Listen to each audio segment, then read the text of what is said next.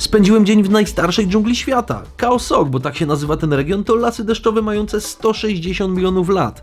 A można tu spotkać dzikie małpy, słonie, a nawet i tygrysy.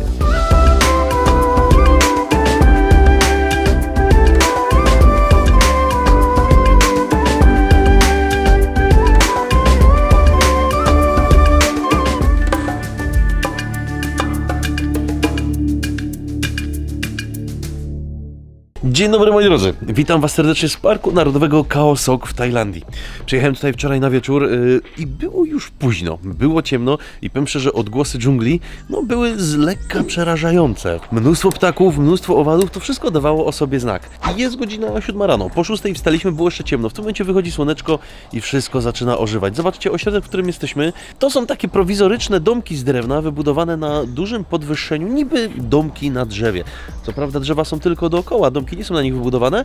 No, a tutaj długi drewniany most, po którym się chodzi wzdłuż tych domków. A co najfajniejsze, jak się obrócicie całkowicie, to za nami tutaj znajduje się basen. Z basenu wieczorem bardzo dużo korzysta gekonów, nietoperze podlatują i dużo zwierzątek przychodziło. Tej wody po prostu się napić. Cały czas dużo gekonów tutaj na domku siedzi. One fajne odgłosy w nocy wydawały, no i nawet do domku wchodziły. Tak jak mówię, do parku przyjechaliśmy tutaj e, wczoraj wieczorem. Bezpośrednio z Phuket wynajęliśmy po prostu skuter, wzięliśmy większy skuter, Honda PCX, 250 bachtów e, za dzień takiego skutera, no i przyjechaliśmy tutaj. Droga około 3 godzin. No i tutaj wycieczki do parku są o wiele tańsze już, ponieważ e, jeżeli chcielibyście taką wycieczkę do Kaosok kupić na Phuket. Wycieczki zaczynają się gdzieś tam od 3,5-4 tysięcy bachtów jednodniowe, nawet do 15 tysięcy, takie z noclegiem. Natomiast tutaj już od półtora tysiąca. Także na jedną osobę jest to już duża oszczędność, a jeżeli jest Was 3-4 osoby, cała rodzina, no to sami sobie policzcie, jak dużo pieniędzy może stać w portfelu. Poza tym nie wiem jak Was, ale ja zdecydowanie bardziej wolę zorganizować sobie taki przyjazd tutaj na własną rękę, dostać się tutaj y, skuterem, pochodzić samemu y, i samemu sobie to y, pozwiedzać. Oczywiście wiadomo, płyniemy na jezioro, tam musi już być przewodnik i musimy płynąć łódką, no ale jakoś jazda autokarem i zatrzymywanie się w różnych sklepach za mną nie przemawia. Pakujemy się w domku na skuter i teraz nad jezioro, 60 km jeszcze do zrobienia przez y, Park Narodowy. W domku klima jest, telewizor, a tak wygląda łóżeczko, no i nawet y, toaleta. Wsiadamy na nasz skuter i w drogę. Droga z naszych domków, w którym spędziliśmy nockę, to jakaś godzina 15, żeby dojechać do portu w Parku Narodowym Kaosok, z którego odchodzą wycieczki. Oferty, które udało nam się znaleźć na wieczór w miejscowości obok domków, to półtora tysiąca baktów od osoby. Przywożą was tutaj busami, następnie wsiadacie na łódkę, parę godzin pływacie, macie również stop w hotelu na wodzie, w którym możecie wziąć ożywiającą kąpiel, zwiedzanie jaskini, króciutki trek, no i powrót. Natomiast tutaj mamy nadzieję, że uda nam się znaleźć jeszcze kogoś, by wziąć prywatną łódkę. Skuter zaparkowany, dojechaliśmy do parku. E, jak tutaj przyjeżdżacie, to trzeba się kierować na pier. Nie dom, bo dom po tajsku to jest zapora, no i tam nie znajdziecie, a pier to jest marina, czyli port, z niego odpływają wszystkie wycieczki. Turystów zaczyna się troszkę tutaj kręcić, większość jednak to Azjaci. Wejście do parku to są w zasadzie takie brameczki, do których musicie podejść, zmierzyć sobie temperaturę, no i okazać bilety i dodatkowo zapłacić 320 bachtów. E, to jest opłata za bilet wejściowy do parku. Bilety dość mocno tutaj sprawdzają. No i na ten moment już mogę Wam powiedzieć, że opłacało się tutaj przyjechać samemu na skuterach, ponieważ znaleźliśmy e, jeszcze jedną parę e, z Brazylii i Hiszpanii. Też chcą zrobić taką wycieczkę jak my, no i udało nam się w takim razie wynająć prywatną łódź. Za całą płacimy 2000 baktów, czyli wychodzi po 500 baktów od osoby. Zaledwie. I tak wyglądają maszyny, w których się kupuje bilety na wejście do Parku Narodowego. To są właśnie te maszyny, w których się kasuje po 300 batów za osobę. A te po 20 to w zasadzie opłata manipulacyjna parku. Mamy bilet za 4 osoby 1200 batów, czyli 300 od osoby, ale 300 wychodzi w takim razie od y, obcokrajowca, bo najlepsze, że od Tajów wychodzi po 40. Dyskryminacja. I co, to nasza łódeczka, tak? Kurde, trochę buja na tej łódce. Park Narodowy Kaosok to park o powierzchni 740 km2 i położony jest w Tajlandii, w prowincji Surat Thani. Obejmuje on lasy, które porastają ten obszar od 160 milionów lat. Cały park jest bardzo zarośnięty dżunglą, która dość mocno jest pocięta rzekami. Ze względu na swoje wysokie położenie, ponieważ jest to prawie 1000 metrów nad poziomem morza, z wapiennych skał bardzo często zwisają liany. Jak dostać się do Parku Narodowego Kaosok? No, można w zasadzie z różnych stron Tajlandii i jeżdżą tutaj busy. Jeżdżą zarówno z Bangkoku, z Krabi, jak i Phuket. Z Bangkoku. E, Taki bus kosztuje 700 baktów i pisze, że jedzie on około 13 godzin. Ja z Phuket dostałem się skuterem 3 godzinki, ale busy też tutaj jeżdżą. Pan kapitan, który steruje łodzią, to dość ciekawy przypadek. Pali sobie papierosa, nie trzyma silnika, po prostu płyniemy przed siebie. Za krzty nie umie nic po angielsku, także dogadać się z nim ciężko. Przed chwilą mówił mi ticket, ticket, ticket. I się okazuje, że chodziło o jacket, czyli kamizelkę. Pan zaczął łudzić, zdecydował, że chyba w takim razie złożymy dach, no bo on jest nam dzisiaj totalnie potrzebny jednak. Przecież nie ma słońca.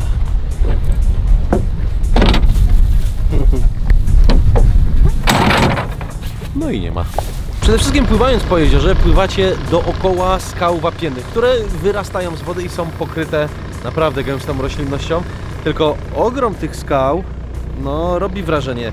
Niektóre z nich mają wysokość nawet tysiąca metrów. Moi drodzy, kilometr wysokości.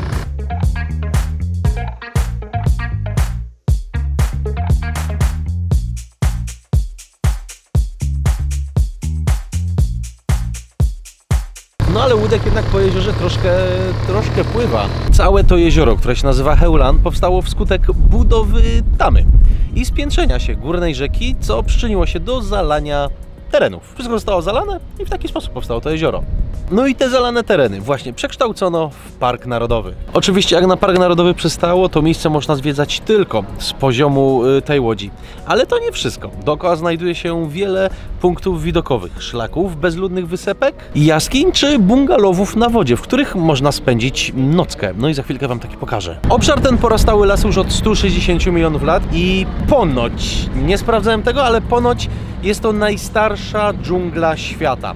Na co możecie w niej znaleźć? No, wiele oczywiście niebezpiecznych gatunków, takich jak tygrysy, kobry, ptaszniki, ale również i dzikie słonie. Jest to również najbardziej wilgotna i deszczowa część Tajlandii. Opady występują tutaj od końca kwietnia do grudnia, ale tak naprawdę pogody nie do końca da się przewidzieć. Bo wypływaliśmy, było ponuro i bardzo pochmurnie. Teraz piękne słońce i zaczyna się wypogadać. No a teraz zasłoniła mnie wapienna skała. Jedno jest pewne, że klimat jaki tu panuje pozwala cieszyć się zielenią przez cały rok. Oficjalnie Park Narodowy został założony w 1980 roku. No i można tutaj doznać no takiej dziczy. Tereny te zamieszkują oczywiście setki gatunków y, ptaków. Jeżeli będziecie mieli więcej szczęścia, zobaczycie gibony, makaki, nawet y, niedźwiedzie, słonie, a bo i tygrysy i lamparty. Natomiast obecnie nie widzieliśmy ani jednego zwierzęcia jeszcze, nawet ryby. Jezioro powstało, tak powiedziałem, przez zalanie tych terenów, ale konkretnie została zbudowana tutaj elektrownia wodna w 1982 roku. A jeżeli macie więcej czasu, to oczywiście na jeziorze możecie zostać sobie na dłużej, na przykład na noc albo na dwie, w takich domkach. Są one ulokowane właśnie bezpośrednio na jeziorze. Nie ma tutaj ani prądu, ani zasięgu. Toaleta no, jest jedna zbiorcza na wszystkie domki. No ale na pewno to, co mogą zapewnić, oderwanie się od tego wyścigu szczurów, od gonitwy i troszkę ucieczkę od cywilizacji. Miejsce bardzo mi na pewno przypomina zatokę Halong Bay. W Wietnamie y, również się wokół takich wysep skał wapiennych y, pływa. No i wszystko w podobny sposób zorganizowane. No i wysiedliśmy na czymś, co można nazwać przystanią. To wszystko się buja i są to jakieś po prostu boje pokryte sztuczną trawą. Z tej strony macie właśnie te domki, tylko wiecie, te domki są zazwyczaj drogie, bo e, no wychodzi kilka tysięcy batów za spanie w nich. Ale na pewno super sprawa. My na tyle czasu nie mamy, bo dzisiaj wieczorem jeszcze chcemy wrócić na Phuket. Na jutro są zupełnie inne plany. A słuchajcie, wszystko tutaj zostało zagospodarowane w taki mocno komercyjny i turystyczny sposób. Domki, oczywiście są toalety, są łazienki, jest również restauracja. No i takie domeczki.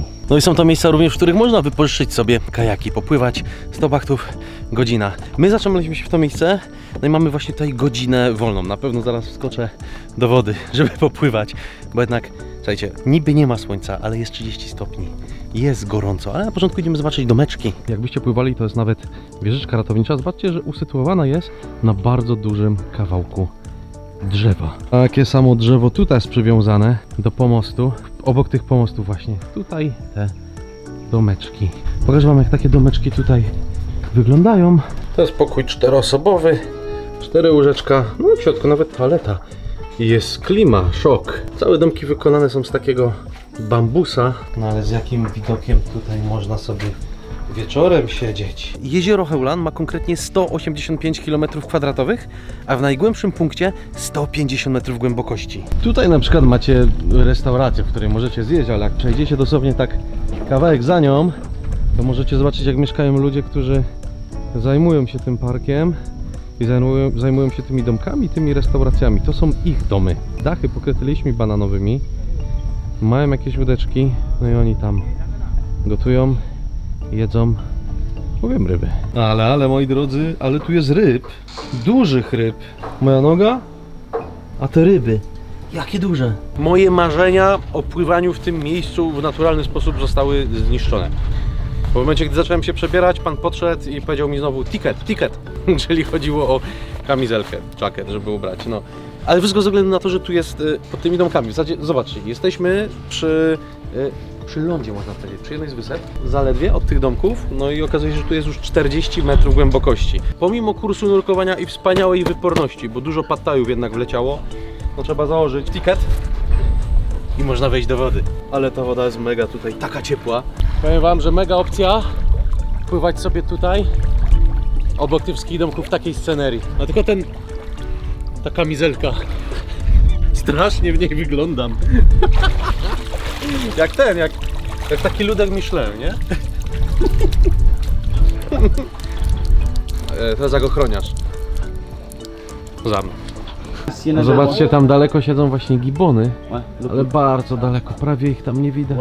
Popływane, kąpielówki mokre w ręce, wracamy na łódkę. Pan na nowo stawia zadaszenie, no bo słonko jest. Z powrotem w kamizelce i wyruszamy w drogę powrotną do mariny, ponieważ wzięliśmy taką wycieczkę 3 godziny. Ja uważam, że w zupełności to tutaj wystarczy, ponieważ idziemy jeszcze na trek do dżungli. Niesamowite, a zarazem zaskakujące jest to, że ponownie zmieniła się pogoda i ponownie zaszło słońce. Znowu chmury. Nasz rejs, że tak powiedziałem, trwa 3 godziny. Uważam, że chyba jest to w sumie wystarczający czas y, do spędzenia y, w tym miejscu i by to wszystko zobaczyć.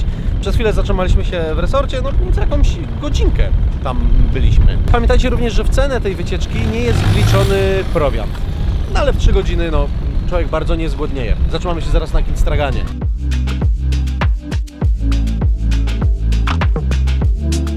Godzina pierwsza 15, dokładnie 3 godziny minęły. Wysiedliśmy z łódki, no i zobaczcie, duże ilości e, ludzi, którzy tu wysiedli. To są wszyscy ci, co spali w tych domkach. Tych domków jest tu naprawdę dużo. Całkiem spora ilość resortów. Robię pamiątkowe sobie zdjęcia. Dobra, w takim razie trzeba poszukać jakiegoś treku. Wejście do dżungli, może jakiś viewpoint. 800 metrów od portu, jadąc troszkę w górę jest jeszcze viewpoint. Fajne miejsce, skąd widać jezioro z góry. Ładnie to wygląda.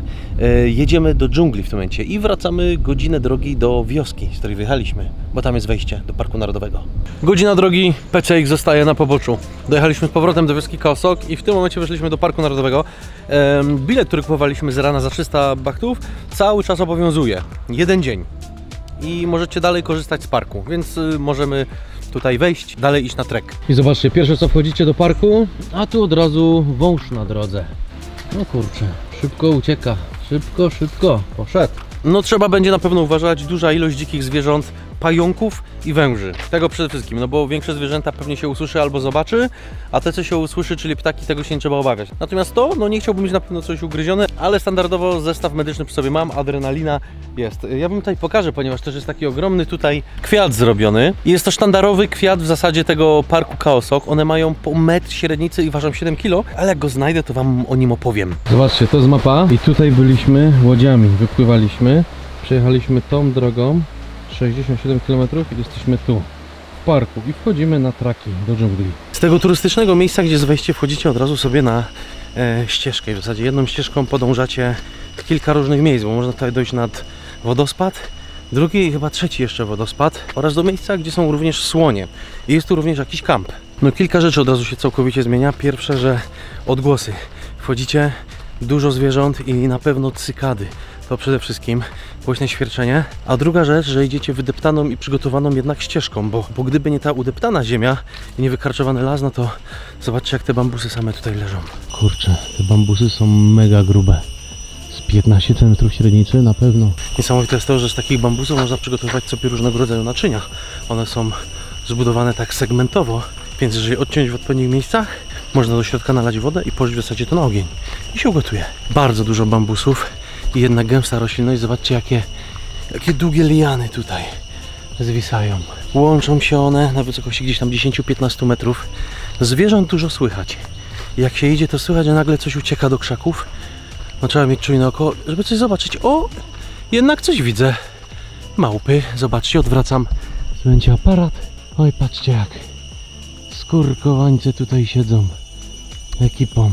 No i są to oczywiście makaki. Siedzi ich tu trochę więcej. Raz, dwa, trzy, cztery, pięć, sześć, siedem, osiem. No około dziesięciu. Kilka młodych. Taka ekipka. O, coś się piorą. O jedzenie pewnie. No i siedzą na lianach. Na świecie macie prawie tysiąc rodzajów bambusów. W samej Tajlandii występuje około 60 gatunków. No i z przyrodniczego punktu widzenia patrząc, bambus jest rodzajem trawy. Oczywiście jest to największa trawa na świecie. E, potrafi rosnąć 50-60 lat. No a z drugiej strony jest to bardzo przydatny materiał budulcowy dla narodów azjatyckich. Budują z tego oczywiście domy, tratwy, rusztowania, ale przede wszystkim właśnie rusztowania. Świetne jak w Hongkongu możecie zobaczyć, jak rusztowania na 50 pięter, wszystko z bambusa. Zobaczcie jak świetnie ta liana dookoła bambusa się oplotła. A to jest fikus. Zapewne kojarzycie, bo pewnie większość ma w domach. On ma tutaj z 15 metrów. Przeciskamy się mocno przez krzaki, żeby dojść do, co jest oznaczone na mapie jako pól, czyli, ha, czyli rzeka. No dobra, już widzę, że ładnie to wygląda. Czyściutka. A? No woda jest faktycznie przejrzysta i całkiem spokojna. Tam jakieś takie małe kaskady.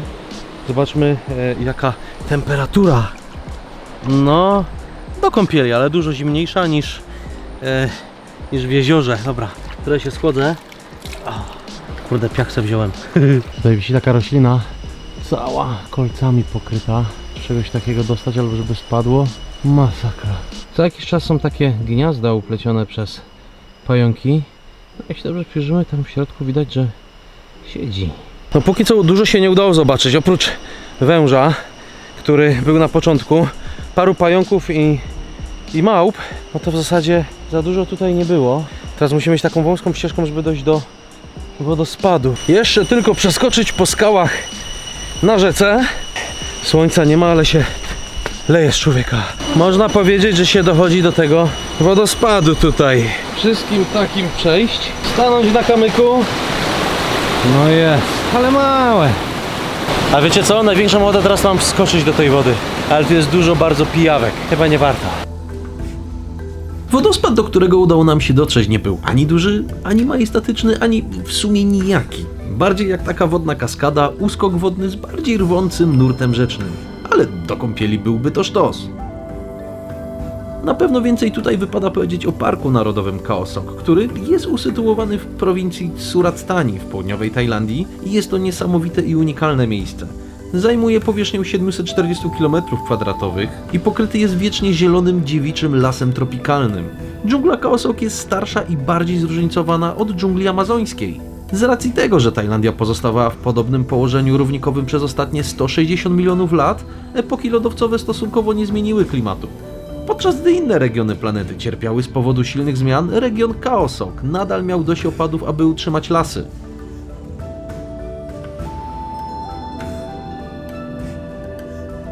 Europejczyka zachwycają majestatyczne wapienne góry wystrzeliwujące pionowo w górę, głębokie doliny, piękne jeziora, wijące się pośród dżungli rzeki oraz niezliczone jaskinie. W dżungli Kaosok występuje wiele unikatowych gatunków roślin, m.in. reflezja, czyli ten kwiat o rozmiarze 100 cm, który cuchnie padliną. Niestety nie udało nam się go zobaczyć. Wodospad zobaczyliśmy. No czy jest to wodospad? No bardziej bym powiedział, że wzburzona rzeka niż wodospad.